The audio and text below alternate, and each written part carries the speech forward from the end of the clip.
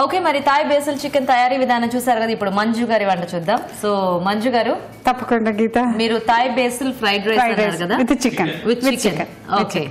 Thai basil chicken fried rice తయారీకి కావాల్సిన పదార్థాలు ఏంటో ఒకసారి చూద్దాం. Thai basil chicken fried rice తయారు చేయడానికి కావాల్సిన పదార్థాలు. బోన్లెస్ చికెన్ అరకిలో తులసాకులు ఒక కప్పు. కొత్తిమీర పావు కప్పు.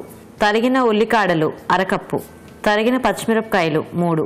సోయా సాస్ ఒక టేబుల్ స్పూన్. నూనె మూడు టేబుల్ స్పూన్లు. తరిగిన అల్లం ఒక table spoon.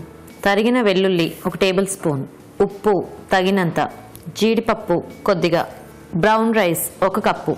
Okay so Manju గారు ఇంకా స్టార్ట్ చేద్దామా? చేద్దాం గీత. ఈ ప్యాన్ బాగా వేడిగా ఉన్నట్లుంది. కొంచెం ఆయిల్ వేస్తున్నాము మరి ఎక్కువ కాదు. ఓకే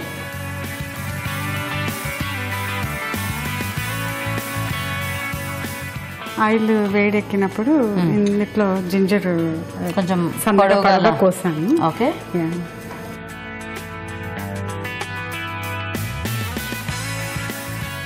జింజర్ స్లైసెస్ సన్నగా పొడవుగా కోసాను.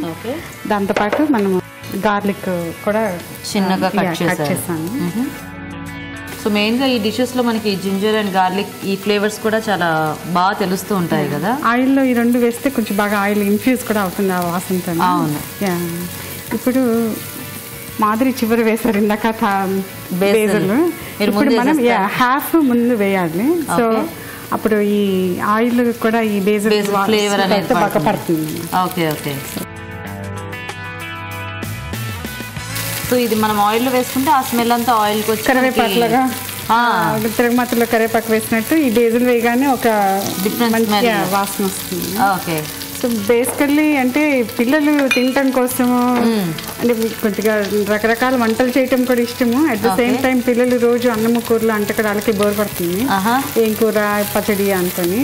అన్ని కలిపి ఒక డిష్లో పెడితే వాళ్ళు స్పూన్ వేసుకుని తినేస్తారు. గా. పని కూడా ఈజీ అవుతుంది. ఓ, అది ముందు మా వాళ్ళ పని ఈజీ అయిపోతుంది. వాళ్ళు గొడవ పెట్టకుండా శుభ్రంగా తింటారు. ఎక్కువ డిషెస్ కూడా అవ్వవు జస్ట్ వన్ డిష్తో అయిపోతుంది. పచ్చిమిరపకాయలు వేసాను yeah, అవి కూడా. ఇప్పుడు మనం చికెన్ వేసుకున్నాం ఇందులో. ఓకే. ఇది కూడా చికెన్ ఓకే. సన్నగా పడవ కోసుకున్నాం బోన్లెస్ కింద కొంచెం ఆయిల్ తక్కువ ఉంటుంది. అంటే ఆయిల్ మరి కొంచెం తక్కువ వేసాను అంటే హెల్దీ కొద్దిగా యాడ్ చేద్దాం. ఎందుకంటే అడుగు అంటున్నట్టుగా అనిపిస్తుంది నాకు. కొద్దిగా అది వేగాలంటే కూడా మనకు కొంచెం వేస్తేనే కొద్దిగా బాగా వేగుతుంది కూడా. సో మీరు ఎక్కడి నుంచి మంజు గారు? నా నేను గుంటూరు జిల్లా పిడుగురాళ్ళు అండి యాక్చువల్గా మా అమ్మగారు.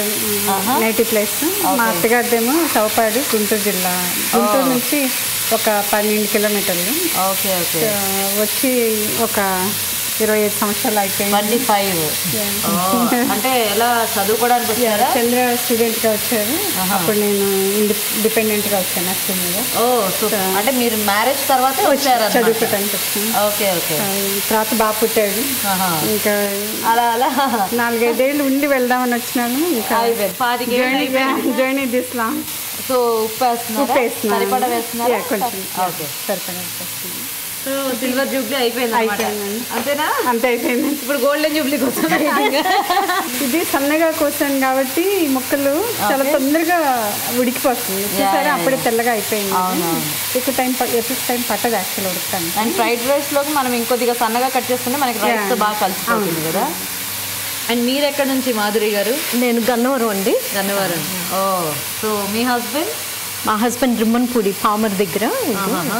సో మీరిద్దరు అంటే ఇక్కడ కలిసారా? లేకపోతే మీరు ఇండియాలోనే కలుసుకున్నాం అండి నేను మెడికల్ కాలేజ్ ఫైనల్ ఇయర్లో పెళ్ళైంది నాకు. సో నేను వన్ ఇయర్ తర్వాత వచ్చాను ఇక్కడికి. ఓ సో అప్పటికి ఆయన ఇక్కడ ఉన్నారా? అప్పటికే కెనడాలో ఉండేవారు. ఓకే ఇది చికెన్ ఆల్మోస్ట్ ఉడికింది. ఓకే నెక్స్ట్ Yeah, ఇప్పుడు మనం ఎంత రైస్ కావాలో అంత వేసుకోవచ్చు యాక్చువల్గా రైస్ బ్రౌన్ రైస్ ఉడకబెట్టి చల్లారిన రైస్ అంటే మీరు జనరల్గా ఇదే వాడుతుంటారా బ్రౌన్ వాడుతున్నాం అండి. అంటే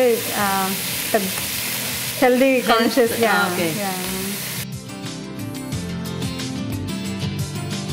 ఇప్పుడు అది వేసుకున్న తర్వాత సోయ్ సాస్ వేద్దాము. ఓకే సోయ్ సాస్లో కూడా సాల్ట్ ఉంటుంది. అందుకని ముందులో వేసేటప్పుడు కొంచెం.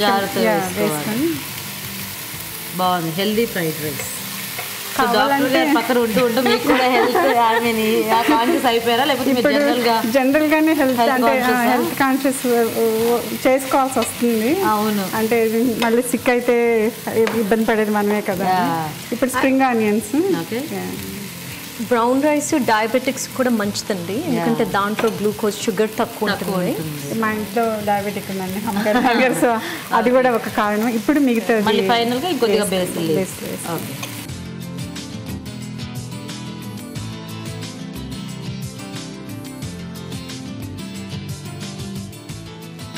ఇది యాక్చువల్గా ఒక రకంగా చైనీస్ టెక్నిక్ కూడా ఫ్రైడ్ రైస్ చేసేటప్పుడు.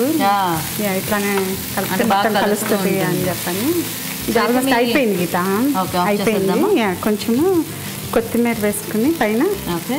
అండ్ ఈ గార్నిష్ నేను బౌల్లో తీసినప్పుడు జీడిపప్పు.